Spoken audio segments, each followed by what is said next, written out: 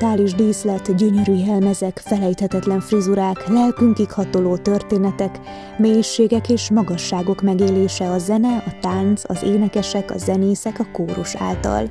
A mai kultúrcseppen a Kolozsvári Magyar Operába hívjuk nézőinket, abba az intézménybe, amely küldetésének érzi a klasszikus művek mellett a kortárs operák bemutatását is, és amely számos fiatal alkotónak biztosít lehetőséget arra, hogy megismerje őket a szakma. A mai műsorban bepillantást nyerünk az opera színfalai mögé, de a műfaj határait, lehetőségeit is feszegetjük.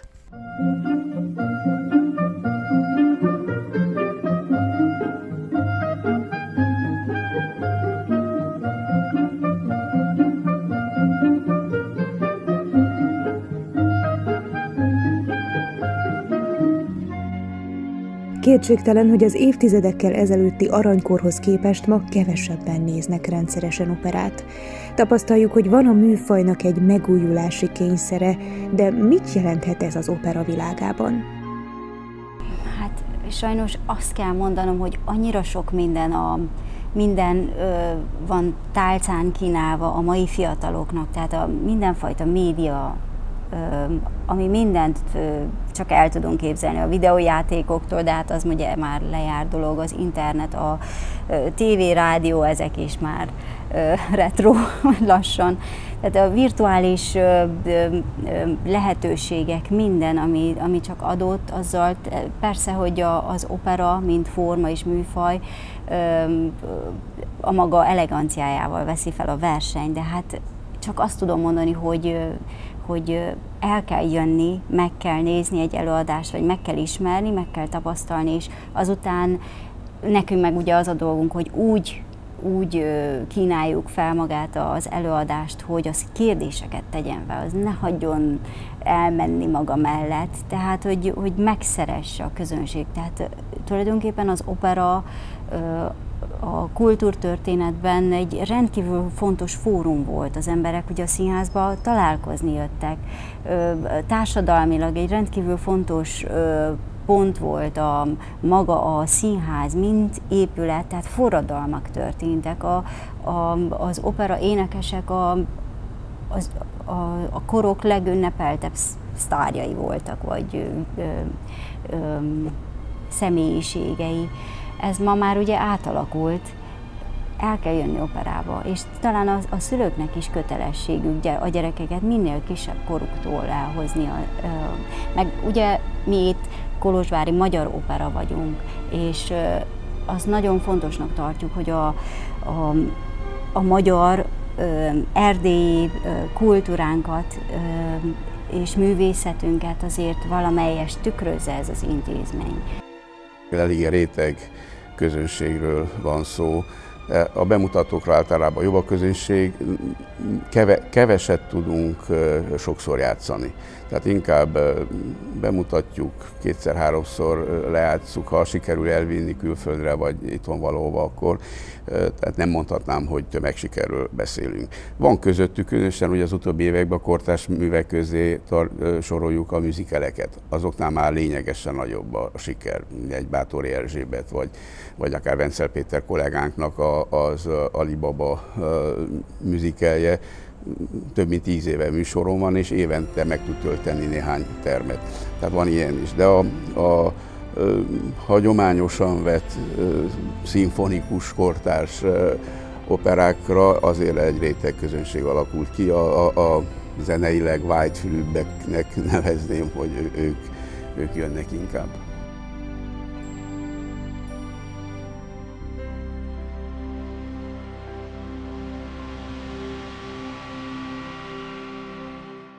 Kolozsvári Magyar Opera kisebbségi operaként fontosnak tartja a kortárs magyar opera ügyét, de vajon a kortárs operajátszás áthidalhatná a gazdag múltal rendelkező opera műfaj és az új generáció közti távolságot? Miért lehet fontos ma a kortárs opera? Úgy gondolom, hogy a kortárs művészetnek reflektálnia kell a mindennapi életünkre, Úgyhogy mást jelentett a kortárs opera a 20. század elején, ami már nekünk nem kortárs, de akkor az volt, és más jelent a 21. század elején. Én ha kategorizálni kell a kortárs operát, akkor azt mondom, hogy a hallgatható és a kvázi hallgathatatlan mm, kortárs operát lehet megkülönböztetni. Most a hallgathatatlant nem úgy értem, hogy az egy rossz darab, csak lehet, hogy azt az ember nem tudja bármikor meghallgatni. De ez ugyanígy van egy abszurd drámával is, tehát hogy az embernek nincs mindig kedve beülni egy abszurd drámára, de van, amikor igen, és attól az még egy jó mű. Ugyanígy van a kortárs operával is. Vannak olyan zeneszerzők, akik olyan nyelvezetet választanak, olyan zenei nyelvezetet, ami, ami hallgatható, amiben dallamok, dallamfoszlányok vannak. Nyilvánvaló, hogy az opera szövegcentrikus, tehát az adott szövegből indul ki a, a zeneszerző. De van, akik, akit csak a hanghatások érdekelnek, tehát hogy a dallam, mint olyan, az számára nem fontos, és az egész 20. század erről szólt, hogy akkor most kell-e dallam, vagy nem kell-e dallam. Ugye már az atonalitástól napjainkig, az elektromos zenén keresztül elég, elég hosszú utat járt be a, a zenei nyelvezet. Önmagában a, a, a mű részleteiben, például a tempójában, a dinamikájában, a hangnemében, a, a mai embernek a, a lüktetését sokkal inkább képes tükrözni, tehát úgy, úgy képzeld el, hogy például amíg, mit mondjak, a pillangó kisasszonyt, ugye azt is értelmezzük, színpadra állítjuk, én most a rendezői szempontra gondolok, de mindenképpen a, a, a műnek, ami egy bizonyos korban íródott, a tükrén keresztül és annak a tempóján, vagy stílusán, vagy stilisztikai minőségén keresztül mondunk el egy olyan üzenetet a mai közönségnek, amely azt megérintheti, és persze szándékosan ezt akarjuk. Míg egy kortárs mű pontosan ezzel dolgozik, úgy íródik. Valami, ami számomra például nagyon értékes rendezőként, az, az hogy hogy egy kortárs mű, tehát egy élő szerzővel együtt lehet dolgozni, együtt lehet gondolkozni. Ez rendkívül fontos, mert gyakorlatilag az előadás azzal, hogy színpadra kerül, még mindig az az élő, organikus anyag, mint amikor az ugye a szerző tollából kikerül, és akár változhat is. Vagy, tehát egy teljesen másfajta műhely munka nekünk, mondjam úgy a színházi embereknek, de ugyanakkor ez, ez szerintem érezheti a közönség is, hogy egy teljesen másfajta lüktetés van benne, mint amúgy egy történelmi műben.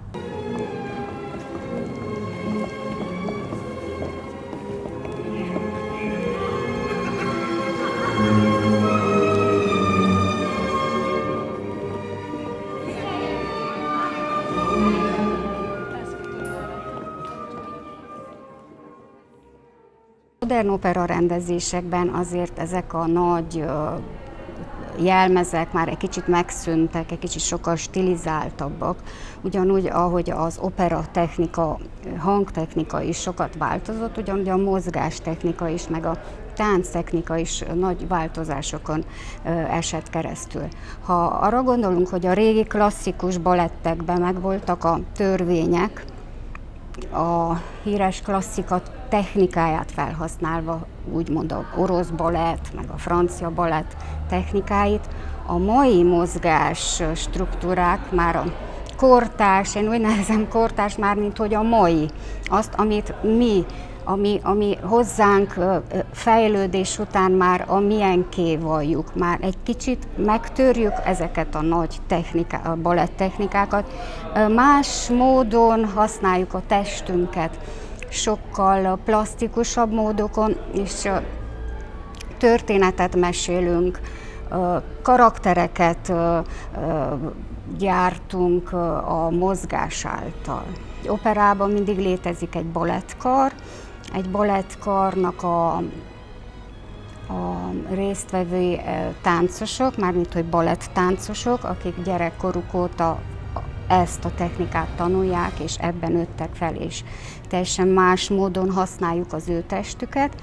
Ugyanakkor a, szín, a színész, meg az énekes teste és a mozgás kultúrája más, viszont itt van a kihívás, hogy hogyan lehet varázsolni testekkel úgy, mintha egész életében táncolt volna. Akkor a Magyar Opera-nak egyik stratégiai fontosságú vonala lett az, hogy a, a hagyományos operajátszás, a hagyományos operett, ballett, gyerekeladások mellett a kortás magyar zeneszerzők operáit is színre vigyük. Így, ha jól, jól tudom, 1990-től 27 címet mutattunk be, de hát szinte minden évben jött, de ha hozzá számítjuk, hogy 90 előtt is volt azért két magyar operás karmesternek, Hari Bélának és Szarvadi Gyulának is volt a 80-as években írt műve, amit szintén eh, bemutatásra került akkor, és itt a kiállításon meg is, jelen, meg is eh, jelenik az ő nevük is, és fotók az eladásról. És én, én úgy gondolom, hogy ez egy ö, olyan kötelességünk, hogyha remek zeneszerzőink vannak, egy részük itt Erdélybe, és a, a, még hozzátesszük azt is, hogy a, a többsége szinte Erdélybe született. Aztán most, hogy itt van, vagy, vagy, vagy e, áttelepettek az elmúlt évtizedekben, ez egy másik kérdés. E, ez kötelességünk e, megmutatni a közönségnek, hogy, hogy van egy Orbán György, ugye, aki Marosvásárhelyén született, de de Kolozsváron volt egyetemi tanár, aztán áttelepelt, és ma szerintem a, a világ egyik legünnepeltebb zeneszerzője. Vagy ott van Selmeci György, aki Kolozsváron született, itt járta és Bukarestbe az iskoláit, utána áttelepedett, de vannak, akik nem mentek, nem mentek el, Demény Attila, vagy Vencel Péter, vagy mondhatnám. És még így is a kortárs zeneszerzőknél érzek egy pici hiányt, és én remélem, hogy rövidesen pótoljuk, hisz még van három olyan óriás, aki e, itt született Erdélybe, és még nem mutattunk be műveit. Ligeti György e, Dicsőszentmártonba született, Kurták György Lugoson e, született, és Ötvös Péter Székelyudvarhelyen született itt még vannak adóságaink, remélem már novemberben szeretném egy részét pótolni ennek a hiányosságnak.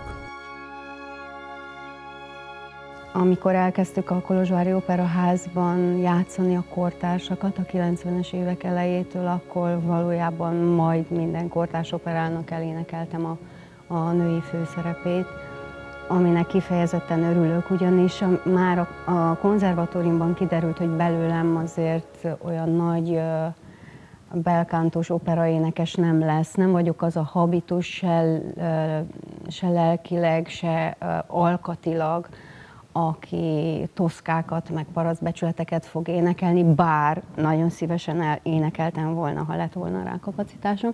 Viszont ugye a, egy kortárs opera eléggé más, más kritériumok elé tesz, főleg előadásmód szempontjából. És én meg nagyon szeretek a színpadon lenni amúgy is, előadó művészként, tehát nem csak énekesként, hanem akár színészként is. És nekem ezek kifejezetten pozitív kihívások voltak. Maga az ember tud hangszer lenni, tehát az, hogy az emberi hang engem lenyűgöz, hogy belőle jön ki az egész, a te tested, a hangszered, ez engem mindig lenyűgözött. És az, hogy hogy tudsz te ezzel a hangszerrel, a testeddel érzelmeket közvetíteni. Egy hangszer nélkül, ugye egy konkrét hangszer nélkül. Ami, ak, amit akkor leírt a zeneszerző, az most is ugyanúgy tehát ahhoz nem kell hozzátenni semmit. Az úgy van jól, ahogy, ahogy le van írva, szerintem. Sok momentum van, ami, amit többféleképpen lehet megoldani. És akkor le kell ülj, hogy törd a fejed, hogy akkor most én hogy csinálom, melyik az én variánsom, melyik áll közelebb a, egyáltalán a zeneszerző indikációihoz. És ez azért sok idő a felkészülésben, a tanulásban, több hónap is akár.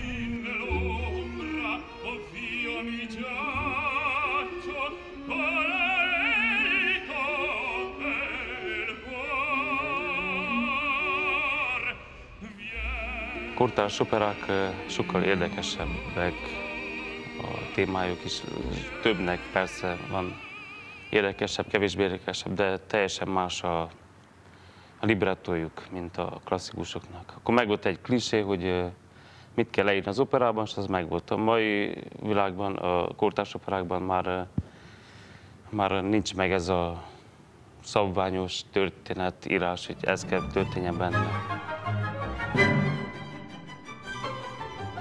Előadóként biztos, hogy, hogy nincs éppen akkora felelősségünk, mint egy zeneszerzőnek, de azért mégiscsak pont mi vagyunk az a kapu, keresztül oda, oda bejutnak a, az emberek, akik érdeklődnek és hajlandók beülnek közön, beülni közönségként és részt venni egy-egy ilyen kalandban. Egészen biztos vagyok benne, hogy, hogy mivel annyi mindent megírtak már, nagyon-nagyon nehéz helyzetben vannak a, zeneszerzők. Mindenfélevel próbálkoznak, hogy új nyelvet alkotni már, lehet, hogy az már, az a sztori már kifújt. A meglévő eszközöket másképp összerakni, ezt, ezt nagyon sokféleképpen lehet és alkalmazzák is. Motivumok másképp tálalva ezt jó ötletként könyveljük el és próbáljuk továbbadni a közönség számára, akkor abból született valami igazán érdekes, ami addig nem volt, és az vonzó lehet a, a közönség számára egészen biztosan. Szerintem 2021-ben másképp kell megfogni a közönséget, mint ezelőtt 200 éve. Tehát muszáj nyitani a fiatalok fele, muszáj, én szerintem többet kéne tanítani a gyerekeket, többet kéne hozni operába, tehát kiskortól, hogy kellene nevelni, hogy igenis megértsék, hogy miről van szó. Egy olyan világ, ami ö, nagyon sok mindentől függ. Tehát függ a rendezőtől, a díszlettől, a jelmeztől, a énekestől, a zenésztől, a, a kórustól, a balettől, a, tehát egy gyár. A díszletmunkástól, a, az asztalosig, a, a hegesztőtől, a festőig, a, nagyon sok mindentől függ. Tehát, hogy ez összeálljon, nagyon nagy munka. Kevés alkalmunk adódik arra, hogy bepillantást kapjunk ennek a nagy gyárnak a színfalai mögé, ahol fontos szerepe van a fodrásznak is. Tíz éve üszöm ezt a szakmát, és mindig egy kihívás, mert sose ugyanaz a haj, vagy ha ugyanaz a haj, más állapotban ugyanaz a haj és mindig egy kihívás. Igazából egy frizura az mindig egyedi, vagyis így kéne, hogy legyen. Meg az, hogy itt vagy az operába, gyerekkoromban bejártam ide az operába, kicsi gyerekként még nagyanyám hozott be kéz, kézen fogva, és én néztem az eladásokat. Nekem a művészek valahogy olyan külön világ voltak, valahogy nem tudtam elképzelni, hogy közel kerülhetsz hozzájuk. Most, hogy itt vagyok mellettük, az nekem valami elképesztő, valami zseniális. Bejöttem ide, olyan dolgokat láttam a nézőtéről, hogy én azt máshol nem találtam meg. Vagy ha elmész egy divat bemutatóra, azokat a dolgokat nem találod úgy meg, ahogy azok felvonulnak ottan, és talán ez fogja meg a közönséget igazából. Az, hogy tudunk mutatni olyat, amit nem látnak mindenhol. A hagyományosan eljátszott operáknak most is nagyobb sikere van, mint azoknak a, a, a műveknek, amik mondjuk régi, legyen az Mozart, vagy Verdi, vagy, vagy 19. századi szerző, és nagyon, nagyon aktualizálni akarják a rendezők ritkán van egyértelmű nagy sikerük. Az igazság az én is lehet, hogy már picit konzervatív is vagyok, de, de én a, a bohém életet úgy szeretem látni abba a padlásszobába, hogy Puccini elképzelte, vagy a, vagy a Kárment az a dohánygyár előtti téren, és nem más más tartalmakkal elvíve. Persze én azt nem, nem azt mondom, hogy, hogy ott kell maradni mindig a, a a hagyományos réginél. Nagyon sok példa, a mi, a mi esetünkben is nagyon sok olyan rendezővel dolgozunk, aki jó ízléssel porolta le a régi címeket, és, és hozta és aktualizálta, de anélkül, hogy hogy bántaná egy, egy hajszállal is a, a, a szerzőknek, a szövegíróknak, a zeneszerzőknek az elképzelését. Hát a zeneszerzőknek aztán azt, azt meg nem engedjük, hogy, hogy valaki belemásszon. Az, az nekünk a zeneszerző a szent.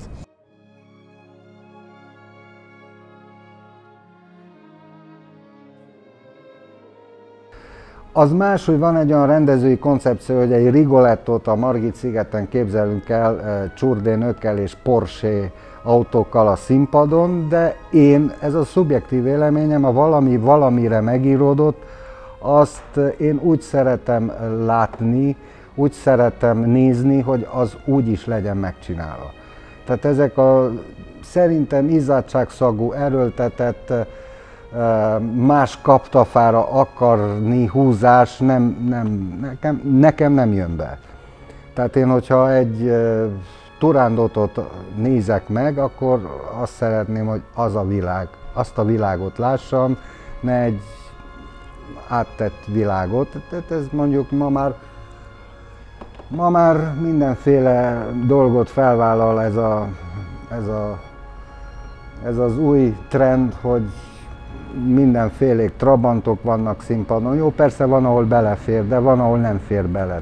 Az van, hogy más időket élünk, minden egy rohanó világ, egy bolond világban élünk, tulajdonképpen nagyon rohanó világ. Én olyan Wagnert is láttam, ami felére volt megvágva, Mozartokból is vágnak már. Hosszú vagy olyanok nyúlnak hozzá a darabhoz, hogy lehet, hogy egy rejtett cucc van mögötte, hogy nem érti ott mi van, inkább kivágja. Ma már színházrendezők is rendeznek operát, nem biztos, hogy mindegyikük annyira zeneileg képzett, de ez megint a szubjektív véleményem, mert például Tompa egy nagyon jó két Ravelt tett színpadra, és ő egy színházrendező, de zenei kultúrában teljesen rendben van. És egy nagyon szép varázsfúvolát is rendezett. Meg olyan színházrendezőkkel találkoztam, akik zeneileg teljesen fel voltak készülve a rendezendő darabra, és olyat is láttam, aki csak szövegkönyvből rendezett, és nem igazán mindegy, hogy ki, de ilyennel is találkoztam. Tehát az operát tényleg akkor értjük meg, ha egy picit felkészülünk rá. És így ezt nagyon sokszor csináltam barátaimmal, hogyha elhívtam őket egy előadásra, akkor előző este vagy előtte pár nappal egy sör mellett elmondtam, hogy ez miről szól, majd erre figyeljenek, majd amarra, és eljöttek és mondták, hogy, hogy nagyon élvezték, de, de pont azért, mert tudták, hogy, hogy mi lesz, és mikor, mire figyeljenek. Tehát, hogy kellenek ezek a kulcsok, ezek a kapaszkodók szerintem, mert ha, ha ügyülünk be egy opera előadásra, hogy semmit nem tudunk róla, akkor is élvezhetjük, de, de valószínű nem úgy, mint, mint akkor, hogyha, hogyha már egy, meg ha már van egy kis kulcsunk hozzá. És ez a kortárs operára még inkább érvényesül. Tehát egy abszurd drámát is első olvasásra lehet, hogy, hogy, hogy nem érti meg azt, hogy mi ez, de ha újraolvassuk, elkezdünk gondolkodni rajta, akkor, akkor Pandora szelencé egy picit kinyílik előttünk. Én úgy gondolom, hogy kortárs operára szükségünk van, hiszen hiszen nem lehet csak múzeumban ülni. Ugye nem lehet az, hogy csak a 17.-18. század operáit játsszuk, amik remek művek, de, de ugyanúgy a 20. században is születtek remek művek, és ezeket én nagyon-nagyon pártolom, hogy ezeket, ezeket játsszuk. Valószínű, hogy hogy több előkészületet igényel, és a közösséget fel kell készíteni rá. Ugye Bartoknak a kék szakállúja hát lassan száz éves, de még mindig vannak olyan emberek, akiknek ez kortárs műnek tűnik, mert annyira újító a, a, a nyelvezete. És hadd említsem meg, hogy akkor, amikor úgy játsztuk azt a darabot, hogy előtte a közönségnek belet mutatva szóban a darab, óriási sikere volt. És nem csak azért, mert fantasztikus énekesek voltak és a zenekar kiválóan játszott, hanem azért, mert, mert megértették, hogy mi miért van. És ez, ez egy olyan dolog, mint mikor az ember előtt kinyitnak kicsi kapukat. Be, bekukkant, be, belelát, és akkor érti, hogy mi történik ott. Eleve az opera olyan, hogy, hogy nem tudunk mindenre figyelni. Annyi minden van. A zene, ének, játszás, fények, ruhák, tehát annyi mindent Éppen ezért én azt ajánlom, hogy, hogy egy operát próbáljunk meg többször megnézni, és, és egyre jobban fogjuk élvezni.